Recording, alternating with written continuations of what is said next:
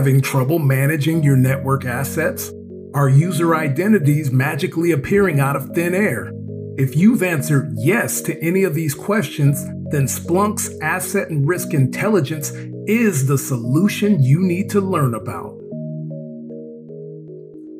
With the heavy adoption of cloud technology, security teams struggle to keep up with the constant deployment of new assets and undocumented user identities. To solve this challenge, Splunk's Asset and Risk Intelligence provides a real time continuous discovery of your network and user identity assets. As assets and identities are discovered, the ARI Home dashboard provides a centralized view to give you a complete understanding of your overall attack surface.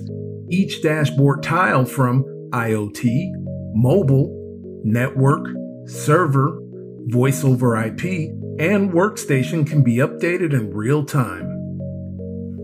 ARI can discover multiple assets as it even categorizes all of your cloud assets and provides insights into the different clouds that are being utilized within your organization.